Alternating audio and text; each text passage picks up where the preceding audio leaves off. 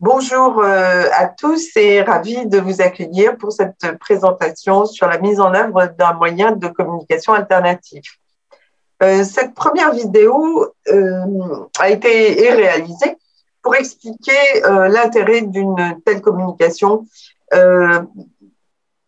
par l'utilisation des objets. pour ce faire, j'ai sollicité Chantal Brousse, qui est orthophoniste et qui a beaucoup d'expérience depuis très longtemps dans l'autisme euh, et qui a travaillé pour EDI euh, Formation et qui va euh, justement nous faire partager sa grande expérience en la matière sur cette communication par objet. Donc, pour commencer, merci Chantal d'être présente. Et la première question, bien sûr, c'est pourquoi euh, utiliser une communication alternative euh, avec les enfants autistes et pourquoi nous conseilles-tu de commencer par les objets? Eh bien, d'abord, bonjour Daniel. C'est avec plaisir que je viens euh, faire cette petite conférence pour la première fois. Bon, pourquoi devons-nous utiliser une communication alternative? Eh bien, c'est évident parce que on sait que dans le développement normal de l'enfant, le bébé, dès les premiers jours, dès les premiers mois, commence à interagir avec la personne qui s'occupe de lui. Il va la suivre des yeux, il va lui sourire, il va la regarder et euh, de façon tout à fait spontanée, il va essayer d'attirer son attention en gesticulant, en gazouillant, etc. Il va développer ensuite, pendant les 24 mois qui suivent, toutes les activités qui impliquent la perception, la perception des choses, euh, qui implique l'imitation, qui implique même l'anticipation quand on lui fait des ah, la motricité, euh, il va essayer d'attraper les choses, la coordination œil-main. Toutes ces fonctions-là, ce sont des fonctions cognitives et des fonctions exécutives qui sont absolument essentielles pour gérer plus tard les pensées, les émotions et euh, pour avoir des comportements qui permettent une interaction efficace avec un entourage. Ensuite, dans le cadre de l'autisme, on sait que ces fonctions-là ne se développent pas. Elles ne se développent pas spontanément. Nous avons l'obligation de les provoquer. Nous allons essayer de les activer. Pour cela, nous devons simplifier toutes nos attentes. Nous devons absolument euh, rendre les choses très claires parce que si l'enfant commence à comprendre quelque chose, il va essayer de le refaire. Si on lui fait tenir quelque chose dans les mains, il va essayer de le reprendre dans les mains. S'il trouve un intérêt et du plaisir, il va le faire. Alors, dans un premier temps, on va lui apprendre à regarder l'objet et puis on va choisir les objets qu'il aime le plus. On va lui apprendre à le suivre des yeux, on va lui apprendre à l'attraper, à le toucher, à le porter à la bouche tout ce que les bébés font spontanément, on va essayer de le lui faire faire, on va le provoquer. On va lui apprendre à taper, on va lui apprendre à jeter les choses, et on va utiliser pour cela les objets qui sont les plus importants dans sa vie.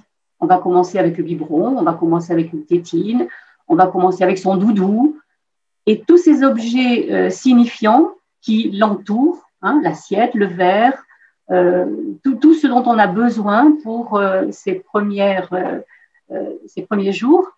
Et on va les utiliser pour essayer d'avoir avec lui une communication qui soit le plus efficace possible. Et on va inventer des jeux, tous ces jeux qui participent au développement cognitif avec ces objets-là du quotidien. Alors, euh, c'est peut-être, euh, c'est sûrement pour cette raison que le PEP euh, évalue justement tous les domaines du développement qui conduisent aux fonctions exécutives. Bien sûr, bien sûr. Le, PEP est à la base de tout ce que nous allons mettre en place pour stimuler l'enfant. Chaque jeu, chaque exercice doit être adapté à son niveau développemental réel.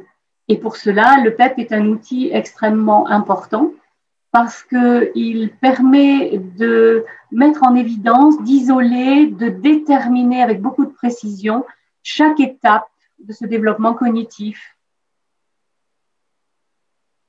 Alors, justement, euh, euh, la question, c'est pourquoi développer surtout les compétences euh, d'association et de tri qui sont aussi dans les activités proposées euh, par Chopler et dans le cadre du Teach programme. Bien entendu. Alors, c'est surtout pour accéder à une généralisation.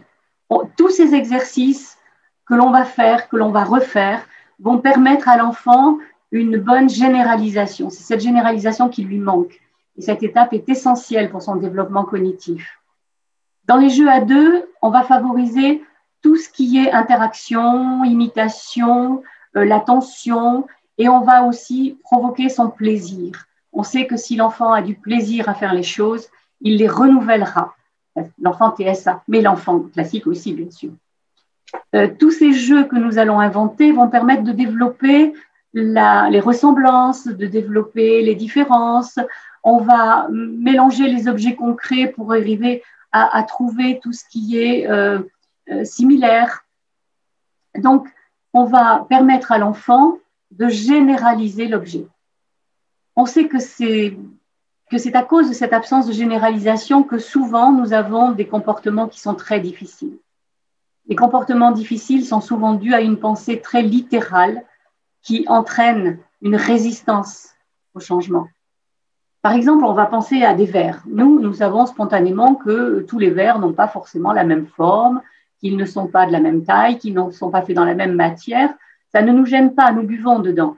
Mais l'enfant qui a une pensée littérale, l'enfant autiste, va peut-être penser que la tasse verte à pois blanc, qu'il utilise habituellement pour boire, est le seul objet dans lequel il peut boire.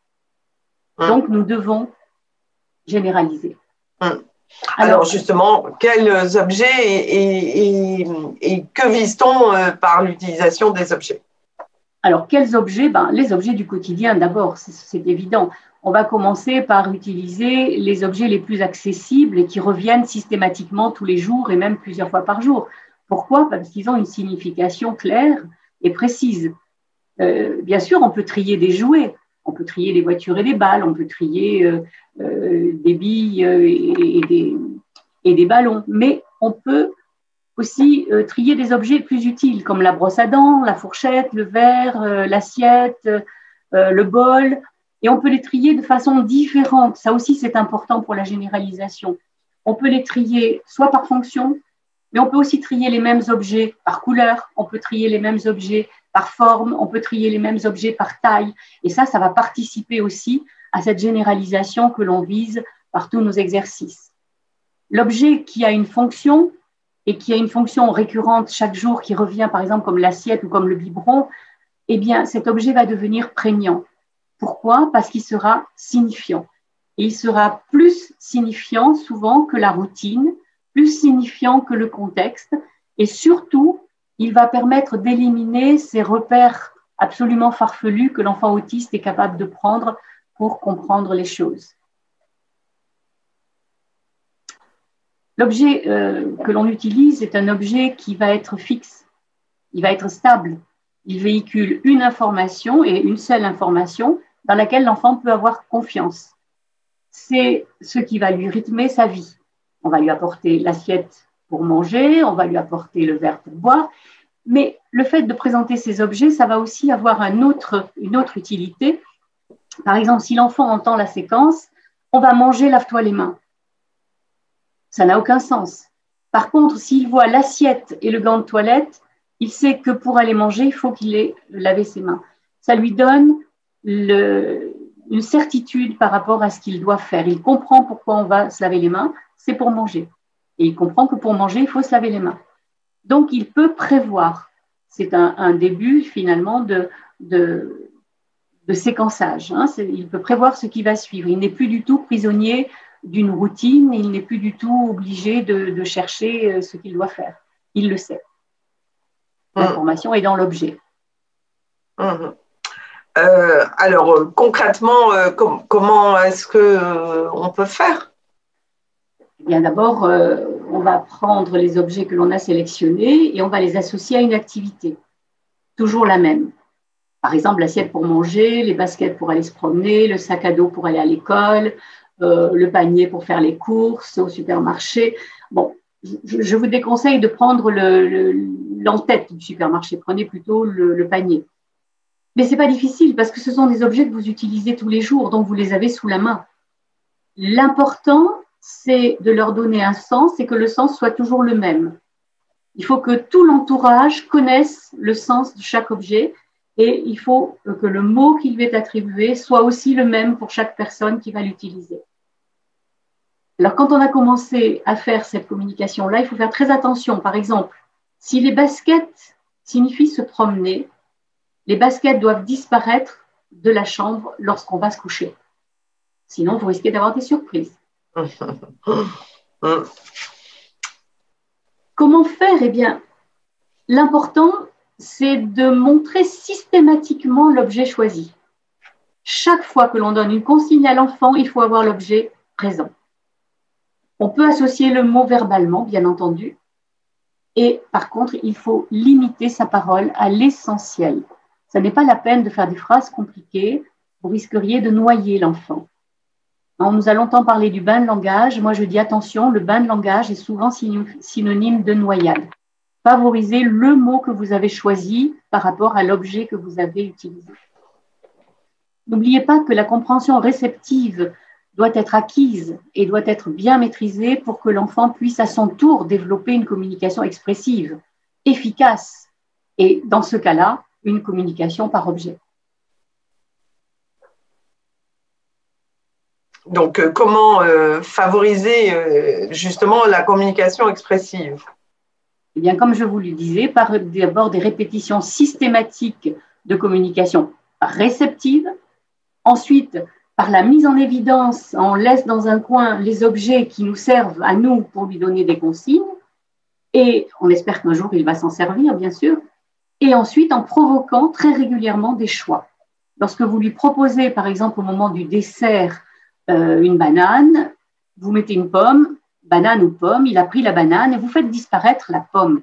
Il faut qu'il comprenne que le choix, c'est ce qu'il veut et ce qu'il va avoir. Et que le reste, il n'est pas obligé de l'avoir. Provoquer le choix est vraiment essentiel pour stimuler le besoin d'expression de l'enfant. Si on veut qu'un jour il ait une communication expressive, il faut favoriser les choix. Alors, euh, bien sûr, euh, il y a quand même aussi l'évaluation. Alors, euh, comment euh, est-ce qu'on peut évaluer la compréhension qu'a l'enfant de ces objets de communication et quand peut-on arrêter de présenter l'objet? Ah, ça, c'est ce que tout le monde a envie de faire. Hein. Présenter l'objet, c'est quand même astreignant, donc on essaye toujours de dire non, il a compris, il a compris, il n'a plus besoin de l'objet. Alors moi, je vous conseille de vérifier, parce que vous avez peut-être l'impression qu'il a compris, mais est-ce qu'il a vraiment bien compris?